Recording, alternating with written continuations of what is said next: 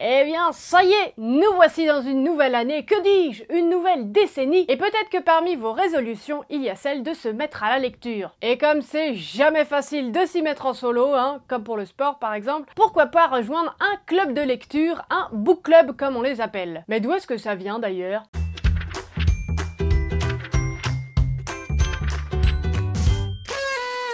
Bonjour et bienvenue, ici votre bon vieux Jeannot. Aujourd'hui, je me suis dit que j'allais vous parler de quelques book clubs que ma foi je trouve plutôt sympatoches. Mais avant ça, on va faire un petit retour dans le temps. À l'origine, les clubs de lecture, comme on les appelle aujourd'hui, étaient réservés à une forme d'élite, hein, si vous me permettez l'expression. Et puis je vais pas vous mentir, les recherches ont pas été faciles. Ah, parce que les clubs de lecture, il y en a eu à plein d'époques et sous plein de noms différents. On a par exemple les cercles littéraires où là ça va être plutôt des étudiants qui vont se retrouver soit pour parler d'un livre en particulier ou de plusieurs livres. Hein. Chacun raconte euh, moi j'ai lu ceci, moi j'ai lu cela. Et en général, ils se retrouvaient plutôt dans une classe ou un autre lieu de savoir. Au 5e siècle avant Jésus-Christ, des philosophes comme Socrate, Aristophane, Xénophon et Platon se retrouvaient par exemple pour discuter de la nature humaine, de politique, etc. Et le descendant de ces cercles littéraires, en quelque sorte, ça va être les salons littéraires qui vont énormément se développer en France entre le 16e et le 19e siècle. Il s'agit de réunions avec des hommes et des femmes plutôt nobles ou même bourgeois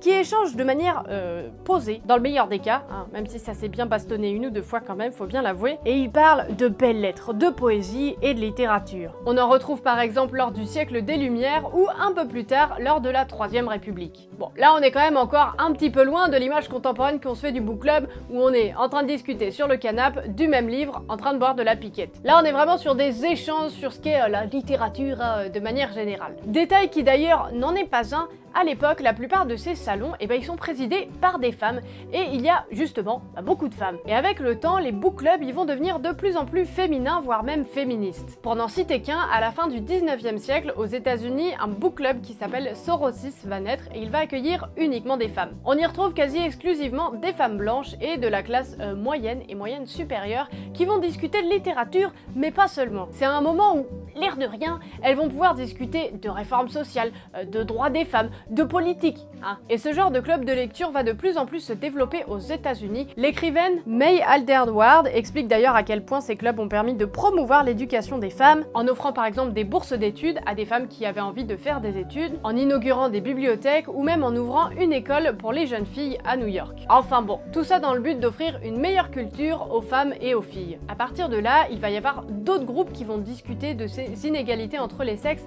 mais pas seulement. On va avoir aussi des clubs de lecture qui discute bah, tout simplement euh, de la vie euh, de, femmes euh, au jour le jour. Quoi. Ça va notamment être le cas pendant les années 60, où c'est vraiment la femme au foyer qui prend un peu de son temps pour aller à son club de lecture et papoter avec bah, d'autres femmes qui vivent à peu près ce qu'elle peut vivre. Ah oui, c'est très réunion Tupperware. Ça va vraiment être un moment où les femmes vont pouvoir dire Ok, ce soir, je me casse, je laisse le mari, je laisse les gosses et je me retrouve avec les copines. Et à ce moment-là, la conception du club de lecture change pas mal, puisqu'on n'est plus dans l'idée de voilà, un club un peu intellectuel non, c'est plus une expérience de groupe finalement où on partage sa lecture et ses expériences de manière générale. Et puis pour aller dans ce sens, dans la démocratisation du club de lecture, on va avoir en 1996 Oprah Winfrey qui va lancer son club de lecture. Elle va inaugurer ça lors de son talk show où il y a vraiment bah, énormément de gens qui la regardent et elle va proposer un livre par mois où voilà les gens euh, peuvent euh, en dehors de l'émission se retrouver autour d'un dîner, discuter de ce livre et puis elle est bas, elle en parlera euh, de son émission. Et puis de manière plus générale, dès l'arrivée d'internet,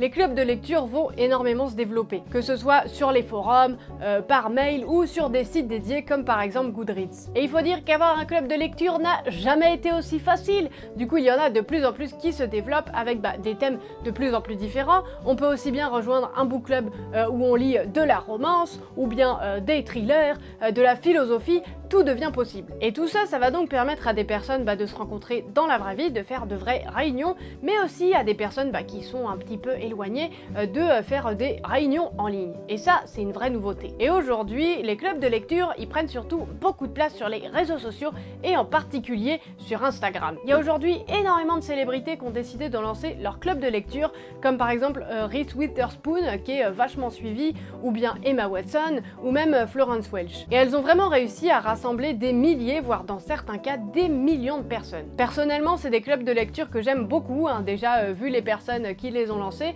mais aussi pour les thèmes qui y sont abordés. Alors je vous avoue, je suis pas forcément euh, toutes les lectures euh, chaque mois, mais c'est ça que je trouve génial. On peut vraiment euh, découvrir des lectures, avoir une expérience commune avec plein de personnes, et puis sans forcément se stresser, hein. On fait ça quand on a envie. Et puis les clubs de lecture, ça peut aussi permettre de mettre en avant certaines valeurs. C'est par exemple le cas de Beltrice qui chaque mois propose un livre, mais aussi bah, de mettre en avant une librairie indépendante. Les clubs de lecture ou book club ont vraiment explosé ces dernières années.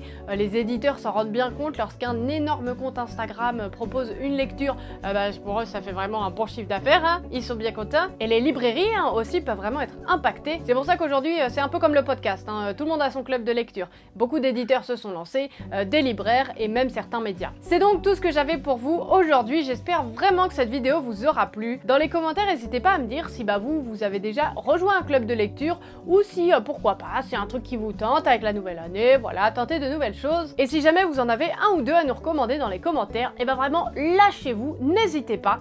Et puis moi, et eh ben je vous retrouve la semaine prochaine. Allez, salut J'espère que cette vidéo t'a plu. Si tu veux en voir plus, eh ben, tu peux regarder la vidéo de la semaine dernière et même te faire un petit marathon. Tu fais ce que tu veux. N'hésite surtout pas à t'abonner. Et si tu veux me soutenir dans cette folle création de vidéos, tu peux aller jeter un coup d'œil à mes comptes Utip et Tipeee. Et en attendant, bah, si tu veux venir papoter, voici tous mes réseaux sociaux.